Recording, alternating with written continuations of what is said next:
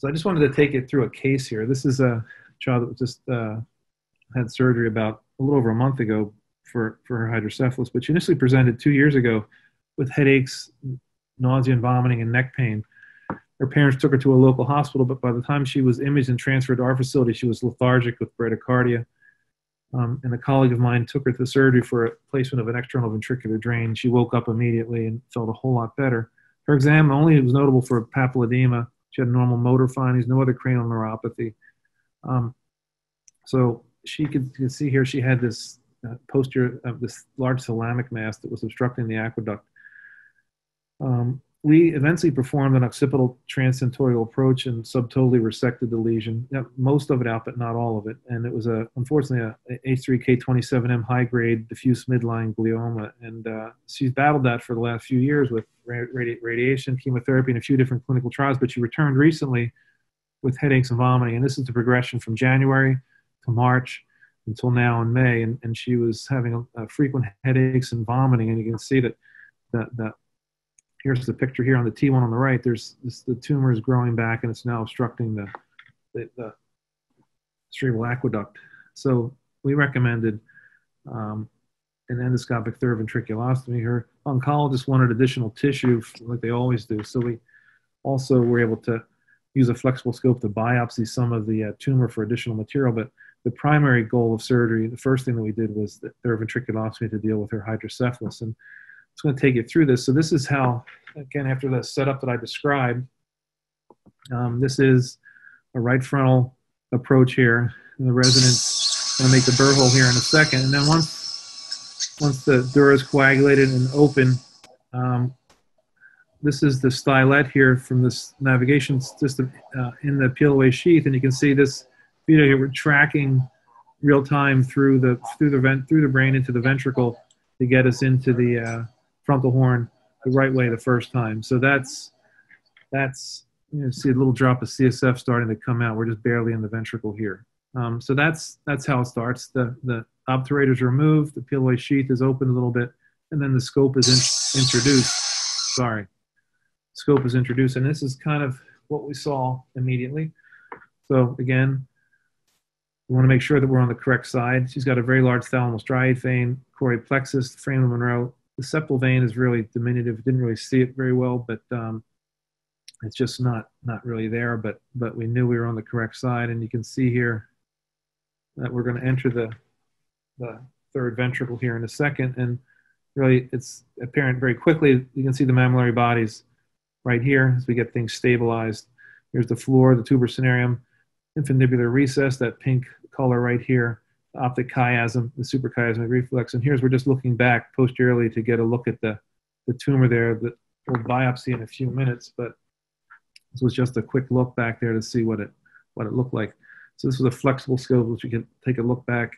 This can also be done with a rigid scope, but again, it can be difficult um, depending on on uh, where your burr hole is. And some some surgeons have actually uh, used two burr holes to do that, two different trajectories to biopsy and also do the ETV. So the flexible scope gives you some added options there.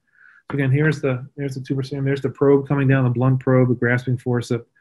You'll see a pop. Actually, you can usually feel that, but you'll see it too. That kind of floor shudders. A little bit of smoke there, just a small bit of blood from the surface, but that's really not much to worry about. That'll oftentimes stop with irrigation, which is kind of running slowly in the background. And then um, sometimes if it's really going, you may have to use cautery for that, but it's pretty infrequent to do that, or even tamponade that with the, with the embolectomy balloon. Here's the balloon coming down, so you can see it pops through the uh, floor, and we're just going to dilate this up here one second, and uh, then lower the balloon again before we remove it. And there's a nice opening in the floor, but there's another membrane here that we got to deal with. So this is membrane of Liliequist. You can see that in the way there. I think without, I mean, there's some smaller openings, but we generally recommend opening that as well. So I use the Bugbee wire without power, just as a an electric cautery wire, but it's a little stiffer than the than the balloon, and just made another opening, which we further dilated, just to ensure that we had really a, a nice free opening to the pre-pontine cistern, as you'll see here in a second, and that's the the ultimate view there, the the pre-pontine cistern with the basilar artery pumping away the clivus here, and you can see the neurovascular structures off to the side. So here's the surface of the pons right here. And then when we're done here, I don't show the biopsy, but we kind of take a quick look when we're finished with the irrigation off, and you can see the floor kind of pulsating nicely back and forth with the cardiac cycle. Just gives you a good idea. So that's generally a good sign that things will will work. Um, so most of these children will go home on the post-op day one or two. Um, she did very well, was discharged the next day. Her headaches and vomiting resolved very quickly, and this was four weeks later. So you can see there has been a considerable reduction in the size of her ventricles, which correlates with her improved symptoms. Unfortunately, she still has a, a, battle ahead of her with her tumor, but her hydrocephalus for right now is, is not a part of that. Um, so other postoperative considerations. Number one imaging you know some some get that. I typically get a ct scan usually the night just to make sure but um, not always um, just to make sure there's no bleeding. But typically when we're finished we inspect the third ventricle the lateral ventricle and if it looks pretty quiet then then um, i'll oftentimes skip that. Need to watch urine output. You are making some manipulation of the hypothalamus. It's rare, but they can have some transient diabetes insipidus. Permanent uh, endocrinopathy is very unusual. Um, antibiotics are continued for like a day. Uh, some surgeons use dexamethasone to try to limit inflammation around the ostomy for a few days to let that kind of prevent it from sticking, if you will. And again, most kids are discharged home the next day or day day after. Complications are pretty rare. Infection is very low, less than two percent. Um, hemorrhage, again, is also uncommon. It usually stops with irrigation or tamponade, um, but significant bleeding, if it happens, can be, can be cauterized. Um, but uh, if not, then the procedure generally would be abandoned and an EVD placed just for external drainage. The thing we worry about the most, which is fortunately very infrequent, is an injury to the basilar artery. Um, so less than 0.2%, and a permanent endocrinopathy, as I mentioned, is pretty infrequent. So in terms of outcomes, if you look at all all comers. The failure rate at two years is about 35%, but most of those happen within six months of surgery. And success really depends on a few factors. Age is critical, and also the etiology. And this was really um, an important paper that was uh, published in 2009 describing the ETV success score. And it's a very simple thing. This is something that you should on neurosurgery service, keep in your hip pocket, if you will, or keep take a picture of it and, and keep it on your phone. But it takes into account the age, etiology, and whether or not the person had a prior shunt or not. And you can see just essentially simply add up the points. So in a 15-year-old boy like this with a tectal mass, never had a shunt before, he gets 50 points for being 15 years old. He's got aqueductal stenosis, that's 30 points. And he, since he never had a shunt, add that all up, that's a 90% chance of success. So it's a very high likelihood that that would work as long as the other anatomic features, like technically you could, you could do this, as long as the prepontine cistern is, is sufficient, it's not dangerous to try that, it's not um, uh, contraindicated. And this, this score has been validated by other groups, and it really is a, a helpful adjunct to predicting responses. So generally, you're less than six months, the results are not as good.